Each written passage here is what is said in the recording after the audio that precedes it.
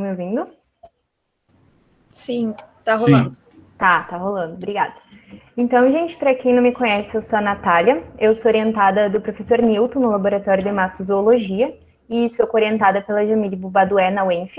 E hoje eu vou apresentar para vocês o meu projeto que se intitula Investigando o dimorfismo sexual no tamanho em primatas.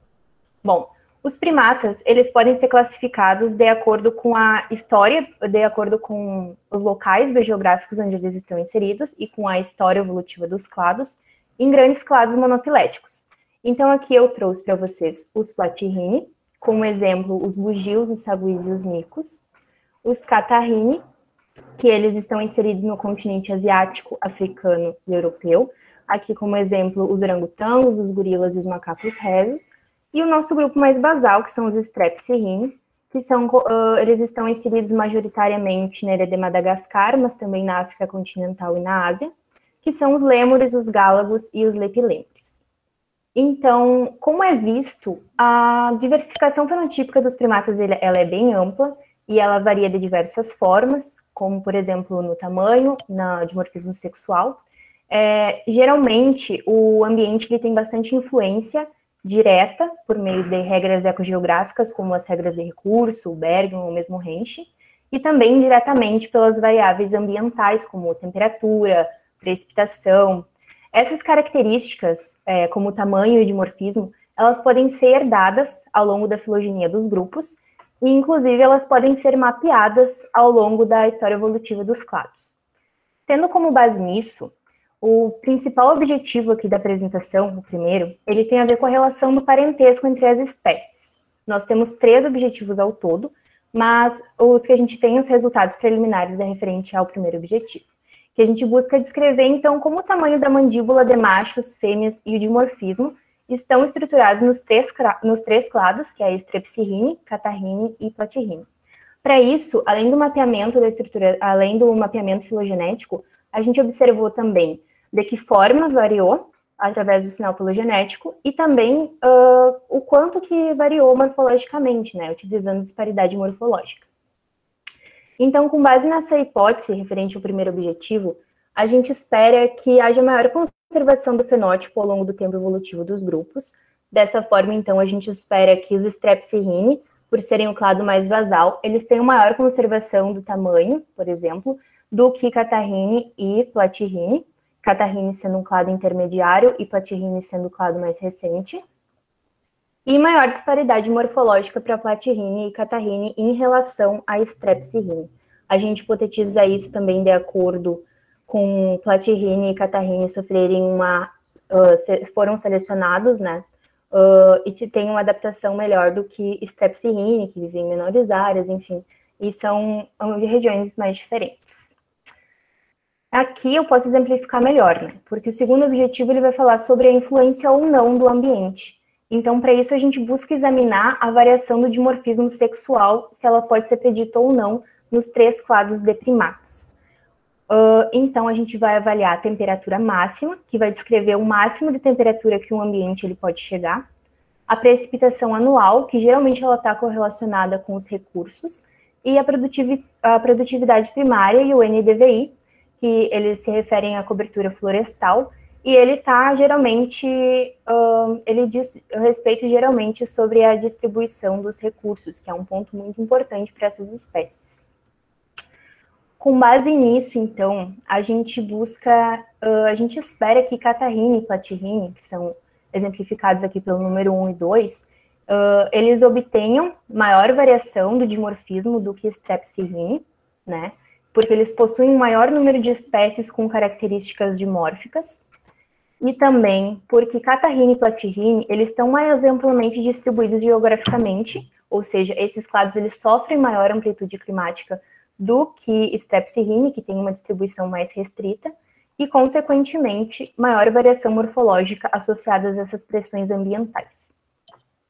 Por fim, o nosso terceiro objetivo, e ao longo do trabalho a gente deu uma reorganizada assim, nos nossos objetivos, logo mais eu vou, vou falar para vocês, que é sobre a influência do ambiente sobre as espécies mais dimórficas.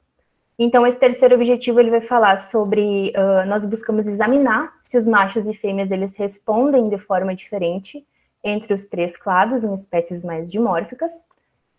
Analisando ainda, nós ainda não temos, né, quais preditoras ambientais vamos selecionar, até porque esse objetivo a gente decidiu que não vai mais realizá-lo, né, e focar mais na parte evolutiva e ambiental biogeográfica.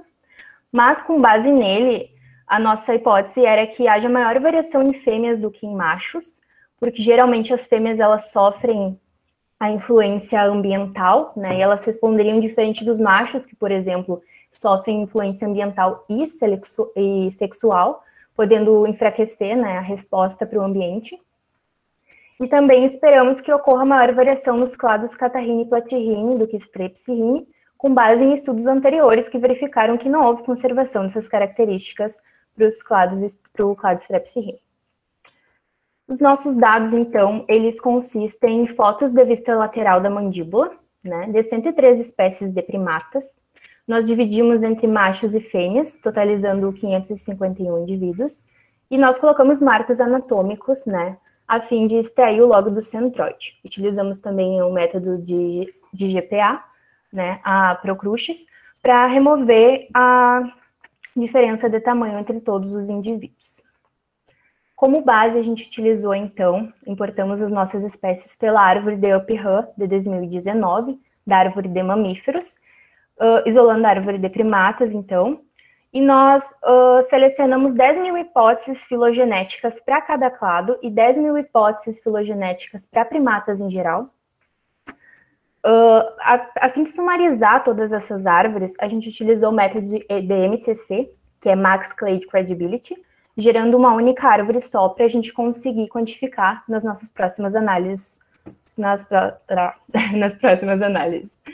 Enfim, os nossos métodos, eles consistem em três. Dei uma atrapalhada aqui, eu tô com seis. Mas, geralmente aqui, ó, a estruturação filogenética, ele gera todo um panorama de como o fenótipo está distribuído ao longo das espécies, ou seja, a gente conseguiu mapear o tamanho de fêmeas, o tamanho de machos e o dimorfismo sexual, tá? Então, a gente consegue perceber como que as características avaliadas variam ao longo das relações de parentesco entre as espécies, entre os clados e dentro dos clados. Bom, dentro disso, então, a gente verificou o sinal filogenético, onde nós utilizamos a estatística K de Bloomberg, e o sinal de K ele pode ser interpretado da seguinte forma. Quando K é igual a 1, é exatamente o esperado pelo modelo browniano de evolução, que ele assume taxas constantes de evolução ao longo da filogenia. Quando K é maior que 1 nos nossos resultados, significa que espécies mais distantes filogeneticamente possuem características mais similares, o que assume uma convergência evolutiva ou seleção estabilizadora. E quando K é maior que 1, então, significa que as espécies mais próximas elas são mais similares que o esperado pelo modelo, sugerindo uma conservação taxonômica dessas características. E por fim, nós quantificamos a disparidade morfológica entre os clados, verificando a quantidade de variação fenotípica associada à característica, ou seja, o quanto divergiu entre as características morfológicas. Aqui eu trago para vocês uma árvore de tamanho corporal, são os nossos resultados preliminares. Catarrina, então, ele está em preto, aqui na legenda. Deixa eu colocar um apontador. Não consegui. Bom, uh, então, ele obteve o maior tamanho em relação aos demais, tanto para macho quanto para fêmea, seguido por Catarrine e Strepsirrine a gente pôde perceber também que Strepsirrhine, que começa aqui em Peradictus puto e vai até Dalbentônia madascariensis, ele possui o valor de K bem baixo, é o nosso clado mais basal, indicando também uma convergência evolutiva. Nesse caso, Strepsirrhine, ele vai se assemelhar com o esperado por um processo de seleção estabilizadora para tamanho intermediário, então provavelmente o tamanho intermediário seria uma característica ancestral no grupo desviando apenas em clados mais específicos, aqui como uh, Predictus poto, Havaí Laniger e o Lemur, que obtiveram um tamanho melhor, menor que o esperado. Então, empiricamente, né, isso a gente ainda não testou, a gente espera incrementar futuramente, a gente pode observar que o tamanho corporal, principalmente porque a gente estuda a mandíbula, ele geralmente está relacionado com o tipo de dieta desses animais. Então, a gente pode observar que o mandrilos, os gorilas e os aloatas, por exemplo, que obtiveram maior tamanho em outros clados, eles são animais herbívoros, folívoros, que possuem um maior tamanho corporal, ou seja, a nossa relação que a gente fez no trabalho é que animais com maiores tamanhos apresentavam dietas menos proteicas em relação àqueles animais que possuem menores tamanhos. Então, a gente observa que para menores tamanhos, os animais eles possuem dietas mais proteicas, geralmente são onívoros ou frugívoros e apresentaram menor tamanho. Aqui seria o um mapeamento do dimorfismo sexual, né? Platyrrhini, então, e Catarrhini, eles tiveram um K abaixo, e Strepsirrhini um K, um dimorfismo inexistente, com um valor de P bem maior que, uh, maior que 0,05.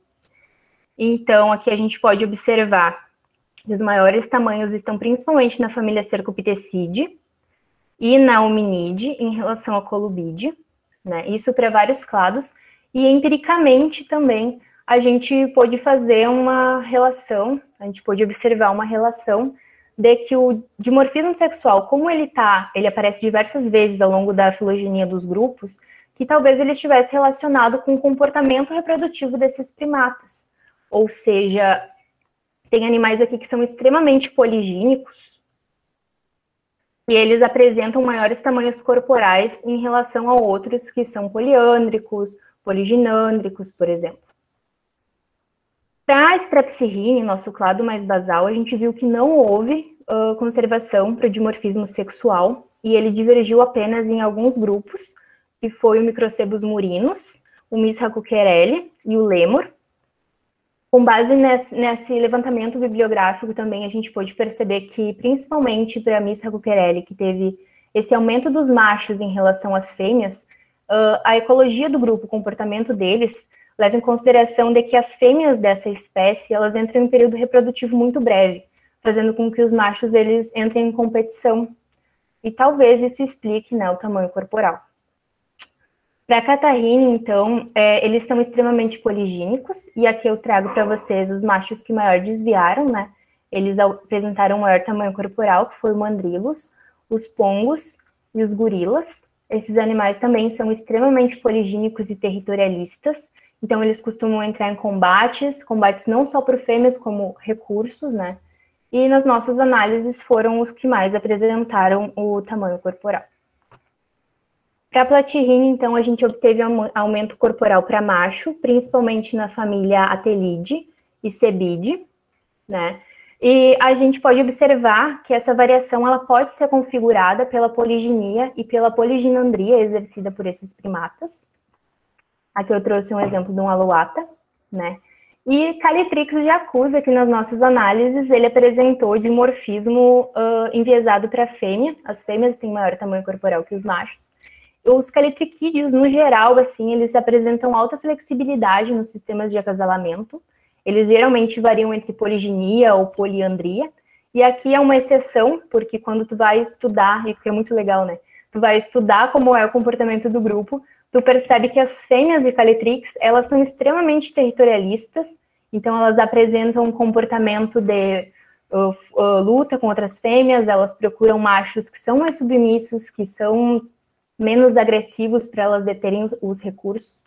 Então, isso a gente vê que talvez uh, apresente um aumento do tamanho corporal para fêmea do que em macho. Vale aqui ressaltar também que outras espécies dentro de Platyrrhini, que a gente sabe que a nossa fauna é muito rica, né? Então não tem como tu não falar de dimorfismo sem falar sobre outras espécies que a gente sabe que tem dimorfismo, mas que não apresentaram dimorfismo nas, nas nossas análises.